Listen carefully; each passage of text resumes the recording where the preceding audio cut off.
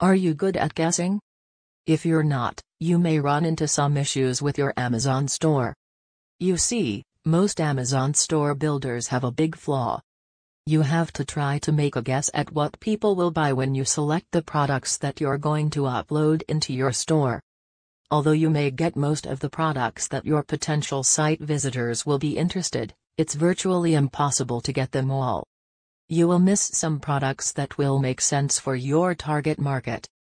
If they don't find them in your store, guess what? Those people are going to leave.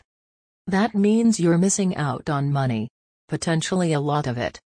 There's a new Amazon store builder called Stream Store that completely eliminates this problem and guarantees your visitors have access to all of the products they could ever want. And then some.